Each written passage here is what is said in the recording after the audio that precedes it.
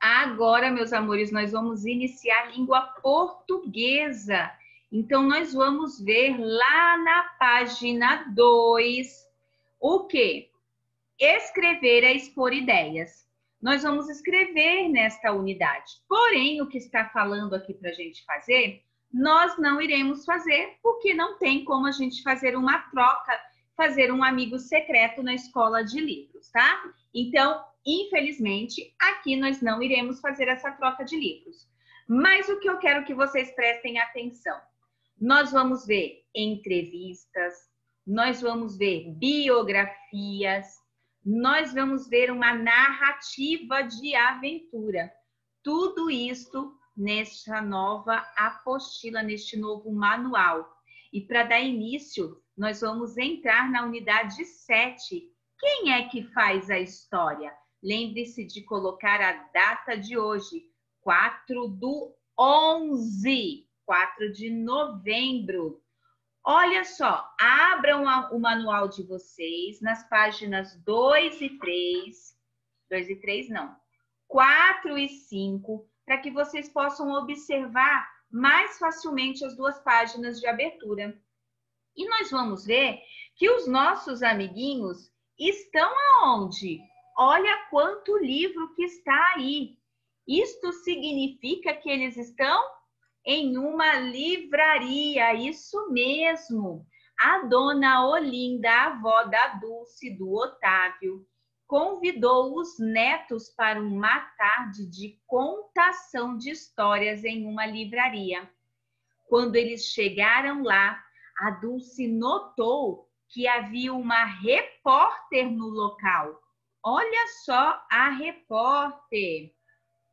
O que será que essa repórter está fazendo nesta livraria? Hum? Será que ela foi comprar livro? Foi ler jornal? Foi ver uma revista? O que será que ela foi fazer lá? Já já nós vamos descobrir, hein? E o que você imaginou, você vai descobrir se você acertou ou não.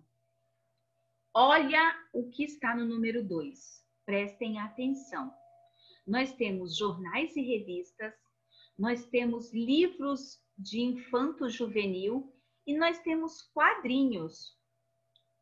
Com qual ou com quais textos impressos você acha que um repórter trabalha? Será que um repórter trabalha com jornal e revista? Com livro ou com quadrinhos? Marca a sua alternativa aí. Olha quantos livros, livros de fábulas, de lendas. Nós temos livros do, da coleção de Manuel de Barros em promoção. Olha quanto quadrinhos. Temos livros de biografias. Nossa, quanta coisa! Então, observe a variedade de opções de leitura que existe nessa livraria. Quais textos podemos ler para conhecer melhor as pessoas reais? Será que eu tenho que ler fábulas, contos, biografias, lendas, entrevistas ou quadrinhos? E aí, geralmente as entrevistas são feitas de maneira oral. Eu pergunto, você responde. E depois disso é que elas são escritas. Então, marque com um X os locais aí na livraria em que podemos ver uma entrevista oral e uma entrevista escrita. Olha aí bem na imagem e marque com X. E aí nós vamos entrar mesmo conversas escritas. Lá na livraria, a Dulce e o Otávio foram abordados pela repórter Madalena. O que, que é abordado? Ela chegou pertinho deles e aí, as crianças estavam lá, quietinhas, olhando o livro. E a repórter chegou porque ela estava lá para entrevistar algumas crianças. E aí, você descobriu? Acertou? Pensou nisso na hora que lá da outra página que nós vimos? Como os dois, o Otávio e a Dulce, ficaram curiosos sobre a publicação em que eles iriam aparecer, ela mostrou para eles a edição de um jornal em que ela trabalha, com várias entrevistas realizadas em comemoração ao Dia da Criança. Então, ela mostrou para eles o jornal em que ela trabalha e falou que se eles dessem uma entrevista para ela, eles iriam aparecer nesse jornal. Hum, por que será que a repórter Madalena quer entrevistar as crianças? Já deu uma dica aí agora há pouco. Quais perguntas você acredita que ela possa fazer a Otávio e a Dulce? E aí, você já deu algum, já leu alguma entrevista de alguém? Que informações que a gente pode encontrar numa, numa entrevista? Então, aí na número 3, vocês vão ler as alternativas: programa de rádio, stories de rede social, videoclipe musical, jornais e revista, podcast e outdoor. Quais dessas alternativas nós podemos encontrar entrevistas? Ah, Pro, mas tem umas palavras aqui que eu não sei o que, que é. Não sabe?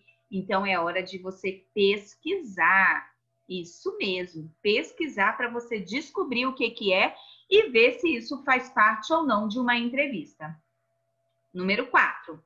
Olha lá, um repórter para fazer o seu trabalho muitas vezes pode precisar entrevistar alguém. Se eu sou repórter, eu tenho que entrevistar alguém. Por meio das dicas a seguir, procure dar pelo menos um exemplo, turminha, de situações em que esse profissional necessita para fazer isso. Obter mais informações sobre um fato presenciado por uma pessoa. Quando isso pode acontecer? Saber a opinião do público com relação a um assunto conhecer a opinião de um especialista ao tratar de um assunto científico ou técnico. Ai, Pro, não entendi. Então, olha só, vou dar uma dica da letra A. Obter mais informações sobre um fato presenciado por uma pessoa. Então, eu posso ter o quê? Hum, um acidente, e alguém viu o acidente acontecer, e aí o, o repórter pode perguntar para uma pessoa que viu como que foi o acidente. É uma dica. Saber a opinião do público com relação ao assunto. Eu posso fazer uma entrevista perguntando o que a pessoa achou lá do jogo na hora do primeiro tempo. É uma ideia. E agora você vai pensar em mais. Combinado? Dulce e Otávio, com a, utiliza... com a autorização da vovó, aceitaram então participar da entrevista com a Madalena. Enquanto eles estavam aguardando a repórter falar com outras crianças, eles leram, sabe o quê?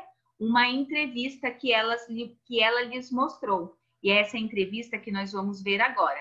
Criança do dia, Matheus Henrique da Silva Cruz, 12 anos. Olha a criança que foi entrevistada.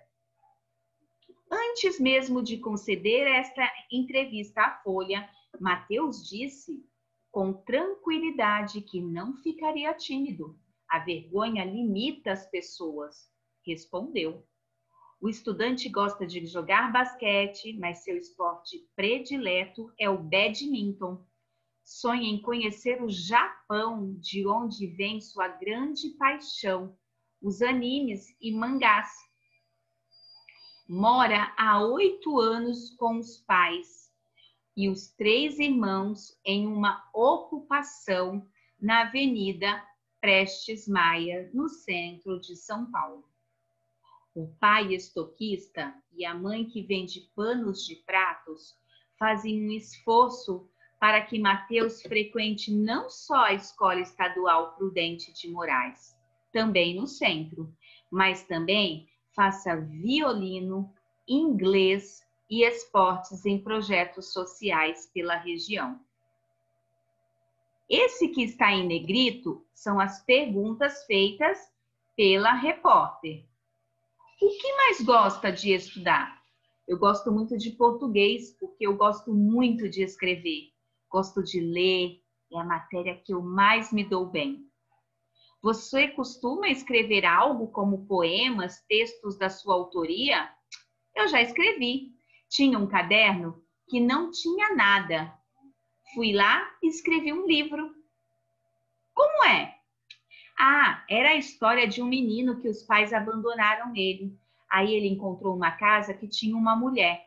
Essa mulher gostava muito dele. Só que a mulher abandonou ele também, porque não conseguia cuidar. Aí ele começou a morar, aí ele começou a morar sozinho e teve uma vida boa. Só. Você se inspirou em alguém, em alguma coisa para escrever? Não, fui escrevendo tinha muitos erros, porque eu era muito pequeno. Que tipo de coisa você gosta de ler? Eu gosto de ler mangá, história japonesa, tudo que é do Japão. E também ler histórias que vejo no filme.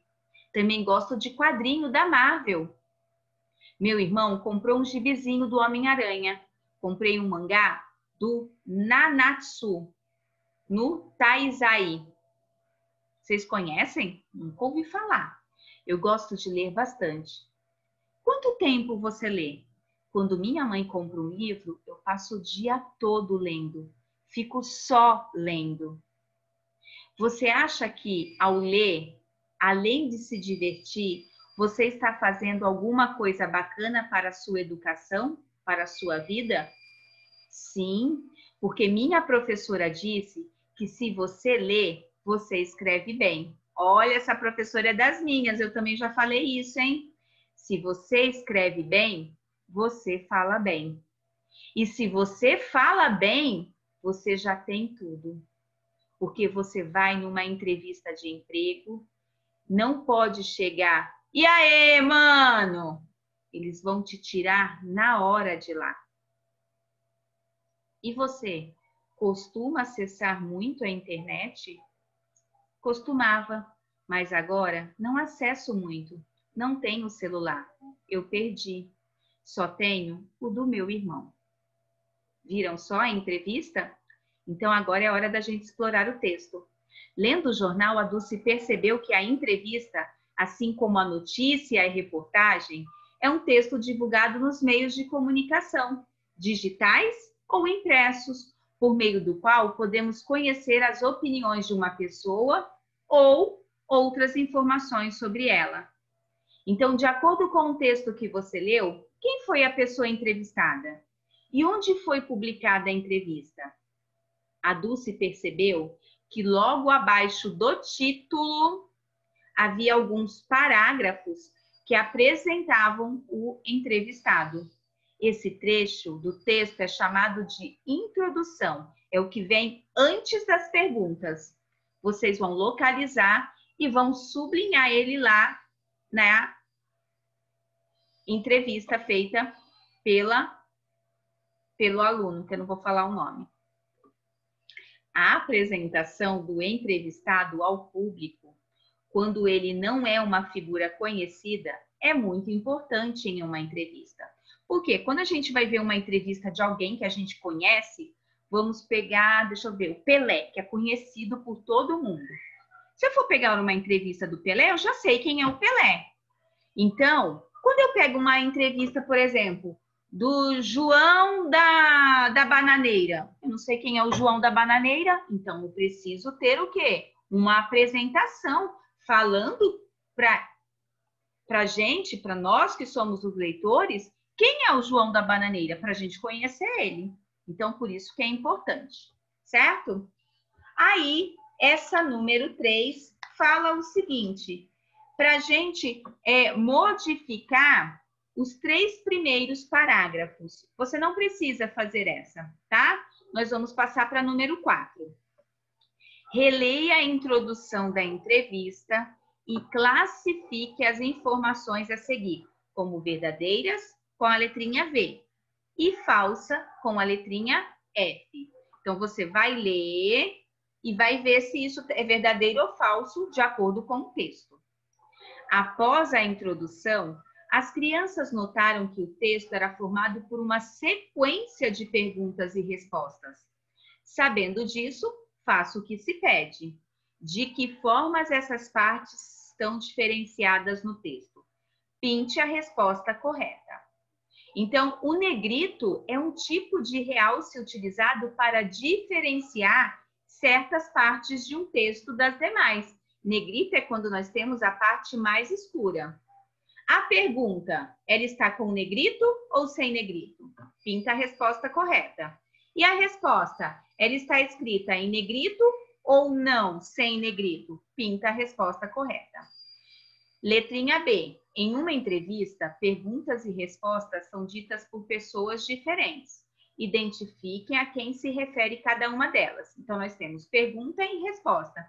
Quem faz a pergunta é o entrevistado ou o entrevistador? E quem faz a resposta? Quem dá a resposta? É o entrevistado ou o entrevistador? Aí é só ligar. Combinado, turminha? Então, é só isso por enquanto. Façam essas questões e já já a gente volta com a nossa correção para a nossa última aula de hoje.